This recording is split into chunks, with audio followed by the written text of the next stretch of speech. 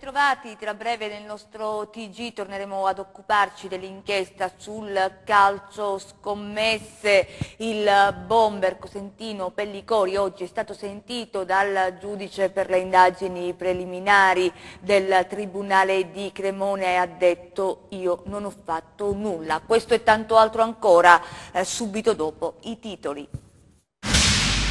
Il calciatore cosentino, interrogato dal giudice per le indagini preliminari di Cremona, spiega il suo coinvolgimento nell'inchiesta, non ho accettato la combina e ha detto non ho fatto nulla, nonostante la sua deposizione, uno dei pochi a rimanere ancora in carcere. Ancora scosse in Calabria nelle ultime ore desta preoccupazione l'allarme lanciato dall'Enea e da uno scienziato russo che hanno ipotizzato un devastante terremoto nel sud Italia ma gli esperti invitano alla prudenza, siamo lontani dall'essere in grado di prevedere il sisma.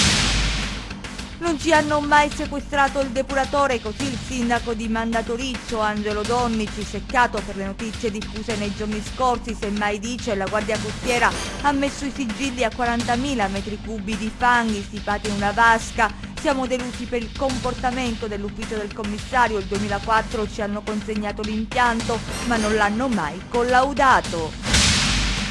Il parroco della chiesa San Domenico in Sartano, Elio Perrone, è ancora turbato per lo strano furto che si è verificato nella sua parrocchia dove sono stati porti via oggetti sacri e ostie, sono serviti per riti satanici, dice questo è inquietante. Suore Naiello torna nella sua Montauto Ugo, sono giunte ieri le reliquie della Beata che rimarranno esposte a disposizione dei fedeli fino a domenica prossima. È possibile compiere una visita virtuale nello storico campo di concentramento di Ferramonti di Tarzia, c'è infatti un sito internet dedicato alla struttura, all'iniziativa e della provincia di Cosenza.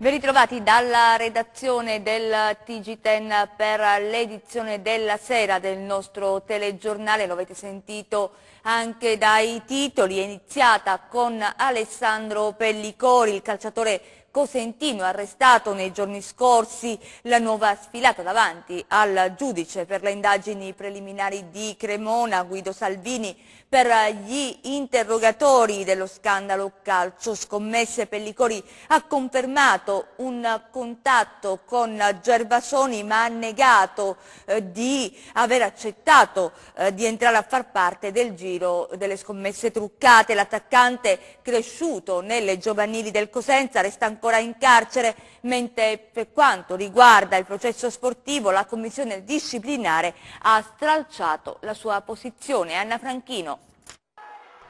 Ci piacerebbe rivederlo così Alessandro Pellicori, sorridente dopo un gol e sereno in campo durante una partita e non nelle immagini del suo arresto che hanno fatto il giro delle televisioni in questi giorni. Il calciatore cosentino, attualmente svincolato dai Queens Park Rangers implicato nell'inchiesta del calcio scommesse, è uno dei pochi a rimanere in carcere, mentre altri sono stati rimessi in libertà paga forse colpe che non conosciamo. Oggi nel suo interrogatorio di garanzia davanti al GIP di Cremona, Guido Salvini ha spiegato di essere stato sì contattato dal collega Carlo Gervasoni, che gli propose di entrare nel giro delle scommesse truccate, ma di avergli risposto che non se ne sarebbe fatto nulla. Dissi no alla combina, ha dichiarato con determinazione Pellicori, a cui sono contestati accordi illeciti per alcune partite del Mantova e della gara tra Torino e Siena. L'attaccante inoltre avrebbe riferito al GIP che una volta trasferito alla squadra torinese ha ripensato alla proposta di Gervasoni perché indebitato per via dell'acquisto di una casa,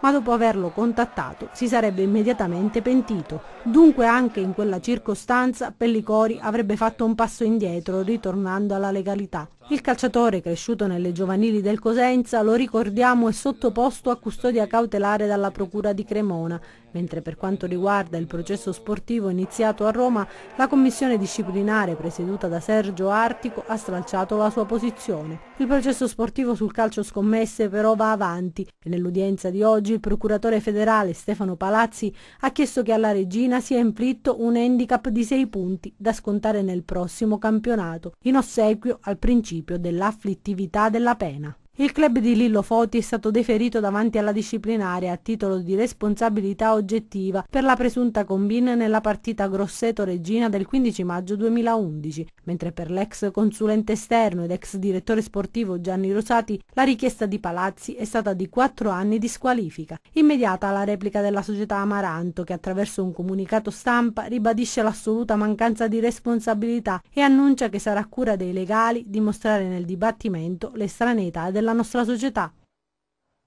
Cambiamo argomento, la paura per le continue scosse di terremoto, questa volta la previsione di un terremoto devastante che dovrebbe colpire il sud arriva dall'Enea e da un ricercatore russo, notizia riportata dalla stampa nazionale che ha causato allarme e preoccupazione. Secondo gli esperti però la ricerca è interessante ma resta un punto fermo, quello cioè che non si è ancora in grado eh, di fare una previsione precisa sui terremoti. Isabella Roccamo.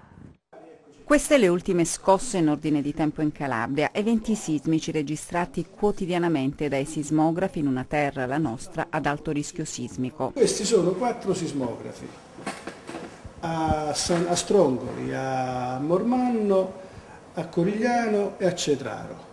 Sono tre tracce per ogni...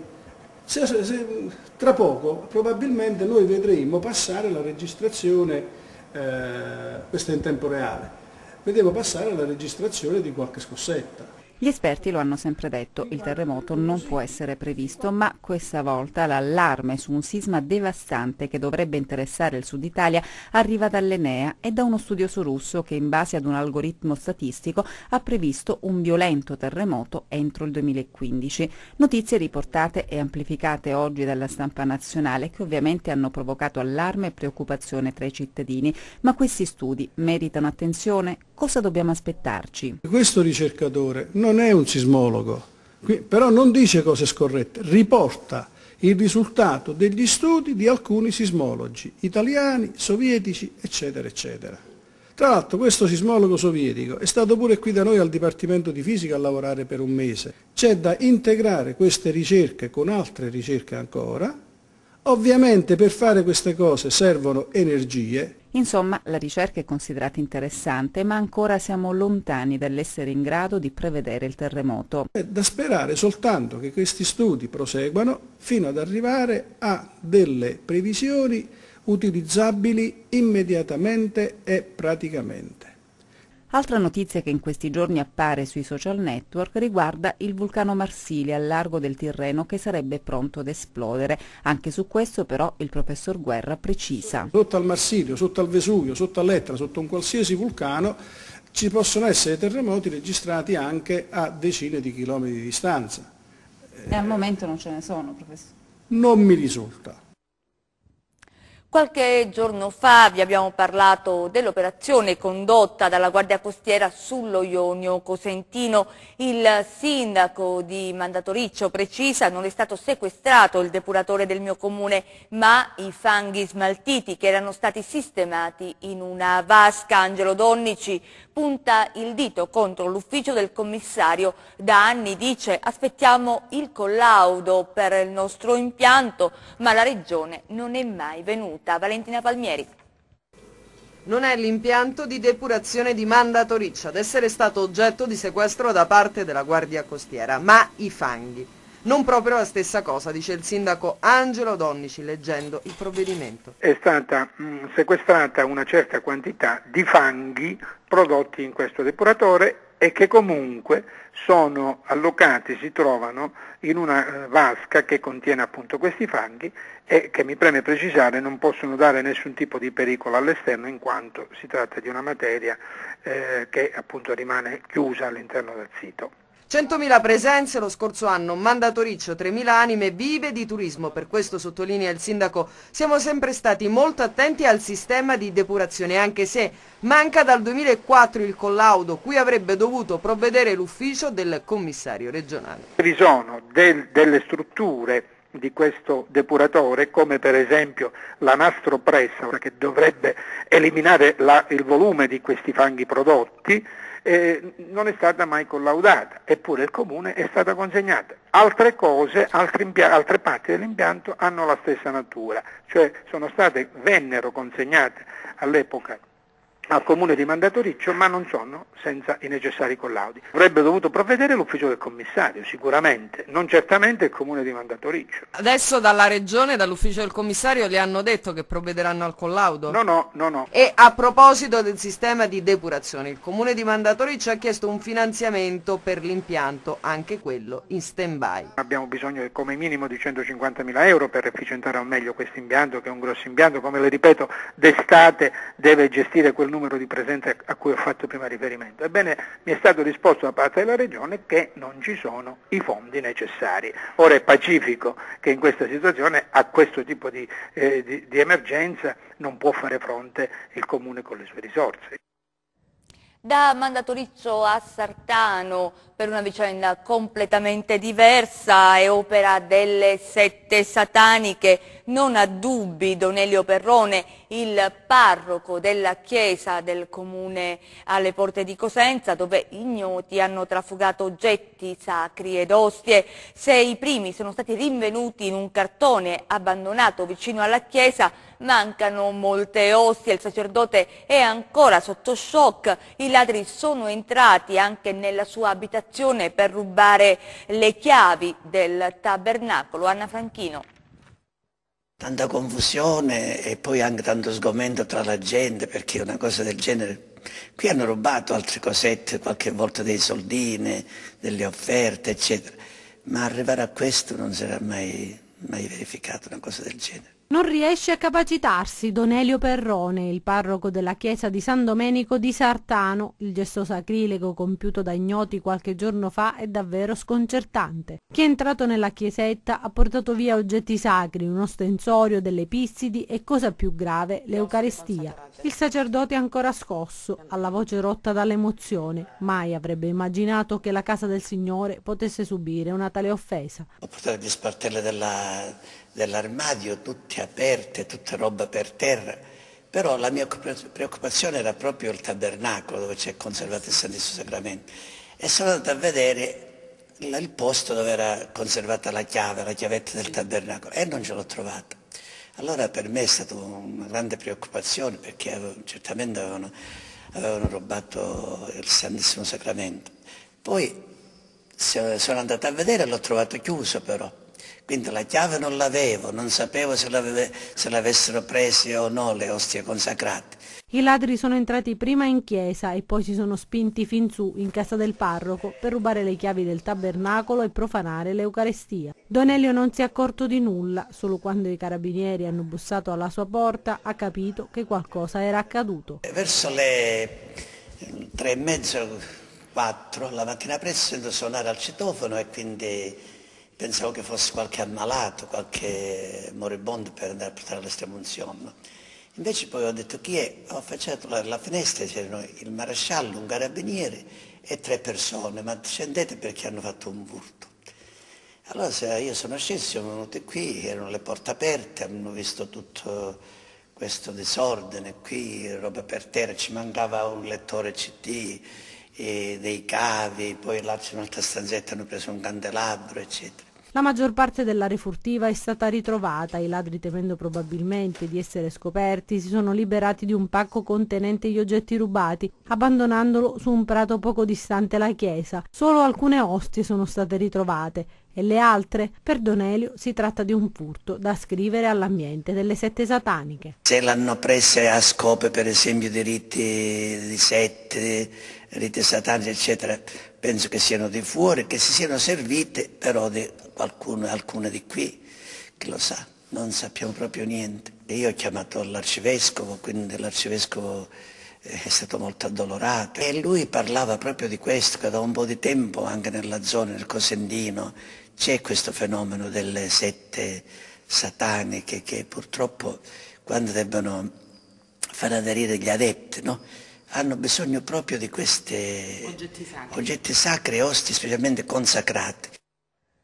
Ed ora una storia molto toccante di una giovane donna di San Lucido che si è affidata a noi, visto che la regione a cui si è rivolta numerose volte non ha eh, ottenuto, non le ha dato risposta, è affetta da una malattia rara, degenerativa, che le ha devastato la mandibola. Dal 2006 è iniziato il calvario dei viaggi della speranza fuori regione perché qui non era possibile curarsi, ha subito decine e decine di interventi molto complessi e anche costosi per fermare eh, la malattia e recuperare, pensate, la possibilità eh, di mangiare, ma dal governo regionale non ha mai avuto alcun aiuto. Lei vive con una pensione minima di invalidità. Perché? Chiede. Per la mia patologia non è previsto alcun sostegno per le cure, sono forse condannata a morire per l'assurdità della burocrazia. Marisa Fallico.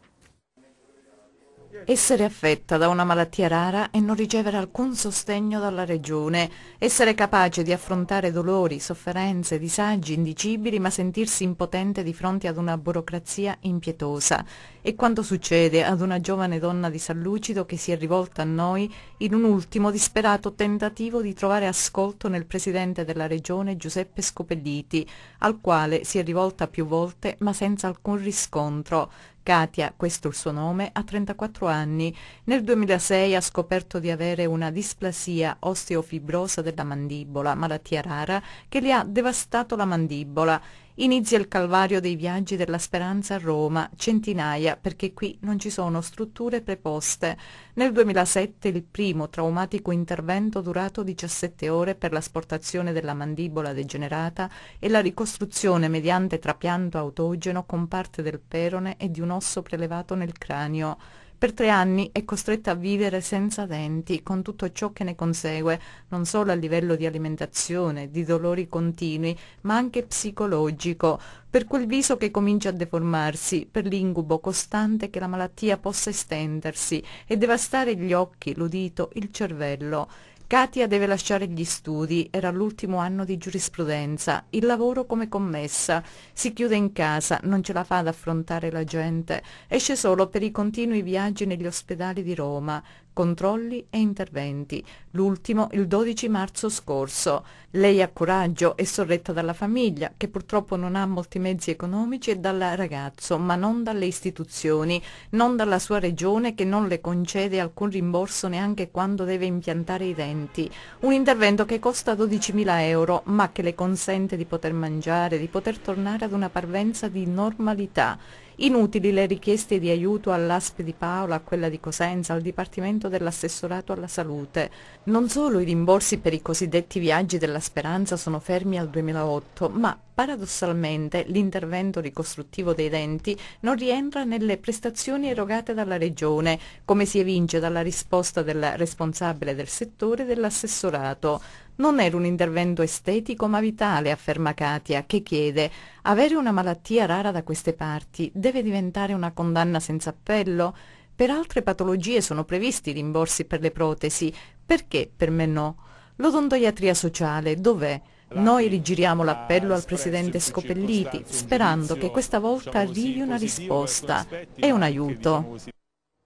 Qualche mese fa i sindaci della Presila Cosentina avevano chiesto l'estensione del servizio dei bus Amaco con capolinea nel comune di Trenta. Oggi il primo pullman rosso, lo vedete nelle immagini girate dal nostro operatore Michele Cava, ha percorso le strade dei diversi centri ed è stato accolto con grande soddisfazione dalla cittadinanza e anche dalle istituzioni presenti. Il numero 51, superato il bivio di Pedace, Serrapedace, attraversa il centro centro di Casole arriva fino al bivio di Spezzano Piccolo, compiendo numerose fermate. Si tratta di un servizio inaugurato dall'Amaco in collaborazione con le ferrovie della Calabria e dalla presila Montalto Fugo dove sono arrivate le reliquie della monaca santa Suor Elena Aiello che è, proprio, eh, che è nata proprio nella città della Valle del Crati. Eh, le reliquie resteranno esposte ai fedeli fino a domenica. Vediamo. Le reliquie della beata sorella Aiello sono arrivate a Montaltofugo, la città in cui la monaca santa è nata. Fino a domenica saranno esposte ai fedeli che vogliono ricordare ed onorare la suora Collestimmate, che si prese cura di migliaia di orfanelli. La beatificazione della monaca santa è stata molto sentita dai montaltesi. Un evento di portata storica, è un qualcosa che è stato fortemente voluto nel corso di decenni attraverso un lungo processo di canonizzazione, attraverso tutta una serie di passaggi che la Chiesa giustamente richiede in, queste, in questi casi, però alla fine devo dire che il risultato è quello di avere una santa, una santa eh, importante, eh, i montaltesi devono essere da questo punto di vista eh, orgogliosi, devono essere fieri eh, appunto di aver dato i Natali a, a eh, una santa. Il messaggio della beata sorella Naiello è ancora oggi attuale e da seguire. Il messaggio grande della carità, la carità perché ha alla, suo, alla, ha, ci ha lasciato l'eredità appunto di accogliere i bambini abbandonati e oggi anche le giovani purtroppo eh, in difficoltà. Questa infatti è la nostra opera.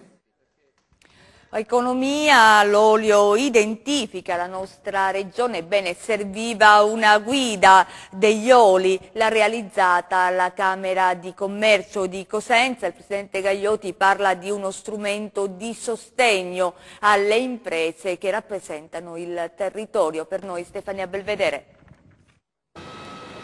In questo contesto economico globale è importante ed essenziale sfruttare le proprie risorse del territorio e la Calabria di potenzialità produttive ne ha molte. Possiamo e dobbiamo superare la negatività del momento puntando sulle nostre eccellenze. Una di queste è senz'altro rappresentata dalla produzione dell'olio e sostenere le aziende olivicole è uno degli obiettivi che si prefigge la Camera di Commercio. Noi abbiamo dei prodotti di altissima qualità, che partiamo dall'olio biologico, pochi sanno che noi produciamo il biologico diciamo, eh, da un punto di vista anche quantitativo a livello nazionale, pochi sanno che noi siamo i primi produttori. La selezione 2012 degli oli extravergini della provincia di Cosenza, oltre ad essere una guida volta a far conoscere ai fruitori le peculiarità dei diversi oli presenti sul territorio, costituisce anche uno sprono per le imprese che lavorano nel settore. Noi vogliamo dimostrare che la qualità c'è, le imprese ci sono e dare a queste imprese la possibilità di accedere a questi mercati. E allora un'altra iniziativa, sempre in provincia di Cosenza, si tratta di un progetto del sito internet che consente di effettuare un'esplorazione virtuale nello storico campo di concentramento di Ferramonti. Vediamo. La Fondazione Museo Internazionale della Memoria Ferramonte di Tarsia, in collaborazione con la Alfabeti di Milano e la provincia di Cosenza, ha presentato il progetto MUVIF, Museo Virtuale Ferramonti, nato grazie alla disponibilità di alcuni fondi europei. Il progetto, che consente una vera esplorazione virtuale, è visibile online all'indirizzo www.museoferramonti.it e nasce per diffondere attraverso i nuovi media la conoscenza conoscenza del campo di concentramento di Ferramonti di Tarsia. Ferramonti è stato il più grande campo di concentramento in assoluto costruito dal regime fascista e oggi attraverso questa postazione noi abbiamo la possibilità non solo di diffondere la memoria di Ferramonti, ma anche quello di interagire, perché noi ci rivolgiamo a un pubblico eterogeneo, formato da giovani ma anche da meno giovani con i giovani, con un linguaggio tipico dei giovani, quindi, che è la, il linguaggio web, perché eh, attraverso il linguaggio web cerchiamo di parlare diciamo, anche eh, il linguaggio dei giovani, perché i giovani come portatore soprattutto di pace per il futuro, giovani che devono sapere, perché se si vuole veramente che certe cose non si ripetono bisogna conoscere quello che è stato. A Vibo la sede di Libera, colorata dai bambini che hanno impresso sulle pareti la loro idea di libertà e il sogno di una società diversa da quella attuale. Il modo migliore per arricchire una sede finora un po' spoglia, adesso certamente più vitale. Vediamo. È da qualche settimana che la sezione provinciale di Libera Vibo Valencia ha la sua sede nel complesso monumentale del Valenzianum. Una sede ancora spoglia, come può esserlo una sede appena aperta, ma da oggi arricchita di qualcosa che ha un forte valore simbolico. Le sue pareti bianche sono state prese letteralmente d'assalto da un gruppo di giovani e bambini che con colori e pennelli hanno scatenato la loro fantasia in nome della libertà, libertà dalle mafie. Sotto la discreta ma attenta guida dell'artista vibonese Antonio Lagamba, i ragazzi hanno dato libero sfogo ai loro pensieri, riportandoli sulle pareti della sede libera per raccontare la loro visione del mondo, le loro speranze e la loro voglia forte e sentita di vivere in una società libera dalle mafie. Una estemporanea fatta con la spontaneità e la genuinità che solo i ragazzi possono offrire, un messaggio di pace e di libertà che partendo direttamente dal cuore dei ragazzi ridà colore alla speranza e all'impegno di Libera nella Vibonese. I ragazzi a dare colore alla sede di Libera. A dare colore, a dare anima e a dare qualcosa, sì. Eh, abbiamo incontrato questi ragazzi eh, nel corso di un progetto de, mh, di legalità sviluppato all'interno della scuola e mentre si parlava è venuta giù quest'idea di venire a dare un segno, a mettere la loro firma eh, in questa sede che allo Stato è ancora spoglia, non, non c'è nulla, eh, a portare il, i colori di Libera eh, e tutta la loro gioia, la loro allegria. Libera diventa una parete bianca dove i bambini possono esprimere la loro idea di libertà. Sì, infatti noi abbiamo bisogno di loro perché ci diano eh, la speranza di poter volare in alto come questi colombi che hanno eh, pitturato. Loro sono la nostra speranza, eh, la volontà di questi ragazzi è di uscire fuori eh, da questo filo spinato intriso di sangue che è alla base eh, delle pareti. È un'idea nata per caso, è un'idea che ci è piaciuta, noi eh, speriamo di riuscire ancora, di continuare ad avere rapporti con questi ragazzi, eh, a seguirli e che loro seguano noi soprattutto. Eh, e che questa sede anche per gli altri istituti, per gli altri ragazzi, ma per tutta la cittadinanza eh, sia un posto in cui tutti possono venire a portare qualcosa e a prendere qualcosa, non un luogo esclusivo di pochi ma il luogo di tutti. Chiudiamo con il meteo.